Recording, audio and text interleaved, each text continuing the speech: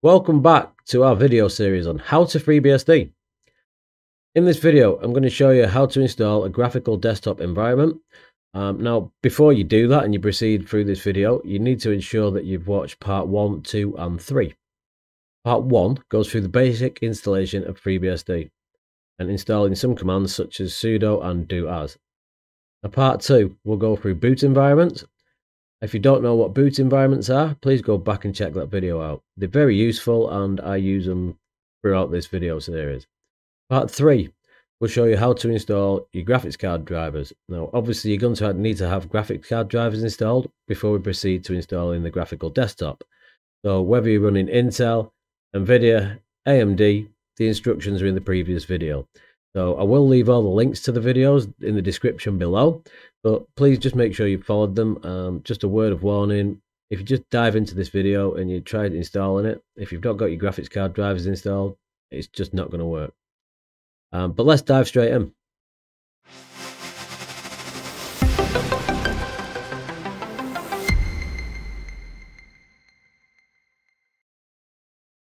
Okay. Just log in.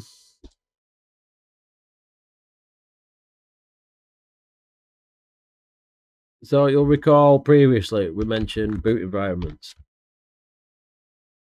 You'll see we've got the KDE5 one we've got before update. KDE5's obviously another video I was doing about installing KDE5.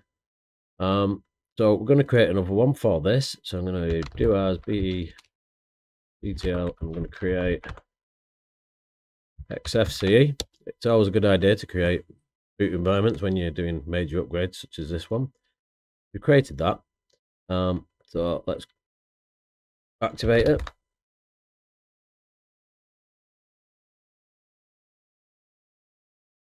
And now we want to reboot into it.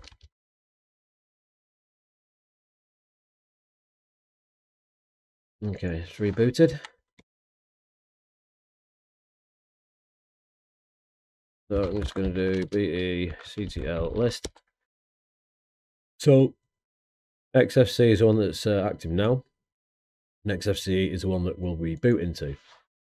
But first, we're going to need to go ahead and install Xorg. So do as package install Xorg. Yep. That takes one gig of space, and there's about 250 meg download. Okay, that's uh installed. So next we're going to want to go ahead and install XFCE. So we'll do doas package install XFCE. Again, that's going to need around a gig in space.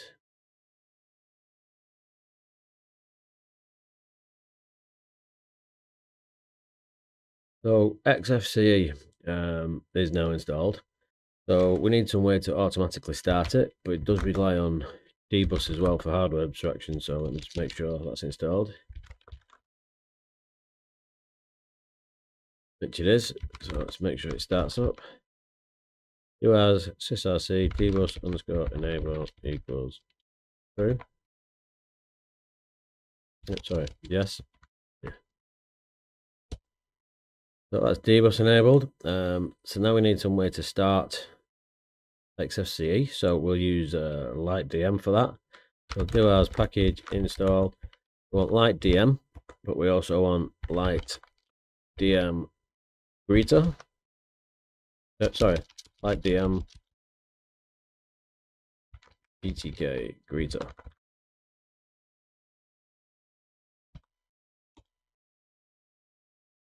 Okay.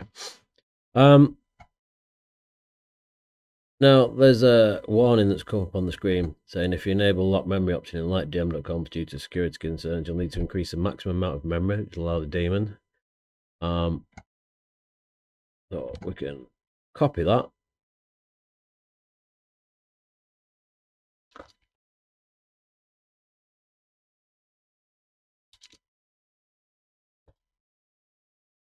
Um, first line to rebuild the Okay. Right, so that was fairly straightforward. Um, so now I've installed LightDM, we just need to make a quick change. So we need to edit the file in user, local, etc. LightDM, it's called lightdm.conf. Yeah, that's run an editor. So use whichever editor you're happy with. Now on session greeter. Greeter session. Yeah. So this line here. We need to uh where's the cursor come?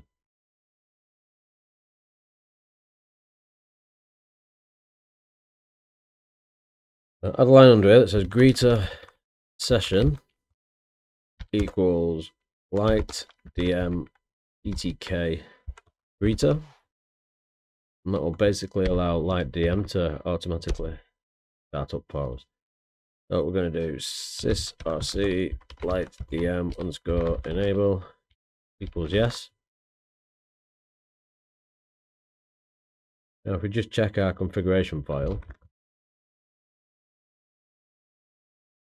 We need dbus enable and we need light light DM enabled. So with that, it should be good, I think. Uh,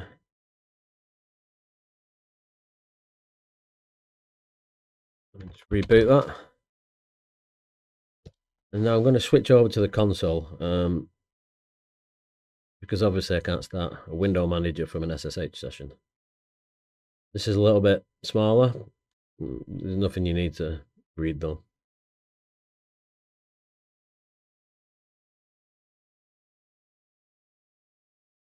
Me grab the keyboard for that.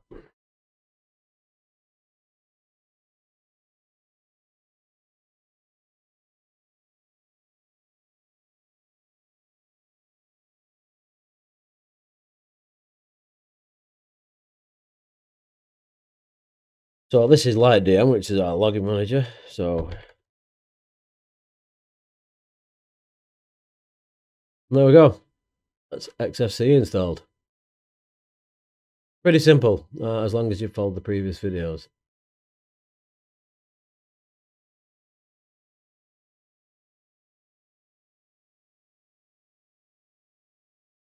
Just pause that a second.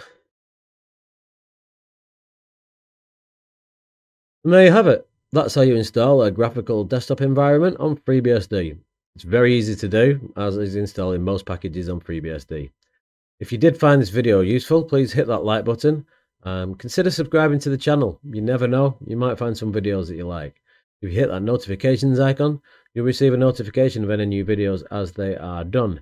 And we do have a members section on this channel where videos are released to members first before they're released to the public. So you may also consider that. Um, but before you go anywhere, I'm going to leave a link to some videos that you might find interesting.